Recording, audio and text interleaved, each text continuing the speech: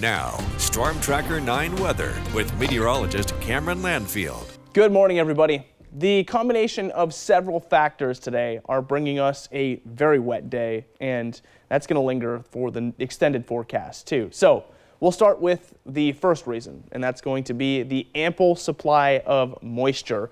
And it's coming from way far away, which makes this an atmospheric river. You can see just how far away this plume of moisture is pushed out way out there, trailing all the way over to the Pacific Northwest. That's arriving today. About 9 o'clock, it should be out along the coast, and that is also coincidental with a big wave of low pressure energy. So it's going to shake all that out and bring us the rainfall and those cooler temps as well. So those are the three reasons why we end up with the rain today. Now looking out at that low pressure system, it's circulating just off of the coast at the moment.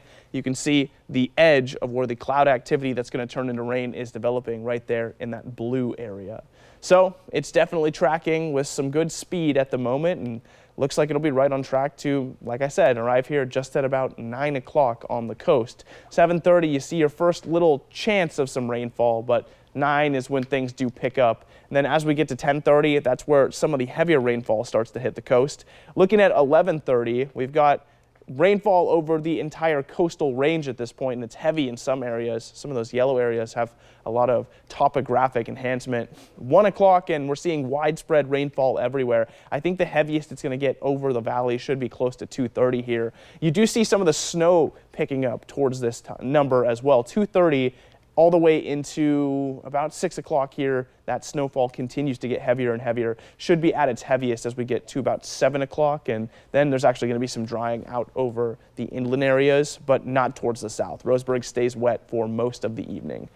The total accumulations today look pretty impressive. We're seeing a half an inch for Eugene, many places just close to a half an inch, and a little bit more than that out on the coast. Snowfall not looking so bad either, especially for the southern passes. 4.3 inches of new snow for today, so could be hard to get through there. Make sure you keep that in mind if you plan on moving out towards the east today. The coast is at 54 for that high today, sitting at 56 on Halloween. We do heat up a little bit into Sunday. For the Umpqua Basin, wet all the way through into Sunday morning, 55 for today, down to 53 after. Cascade passes at 40 degrees for today. Snow level should be anywhere between 4,000 and 5,000 feet for the next couple days here. Willamette Valley at 53 today, down to 52 for tomorrow, even cooler.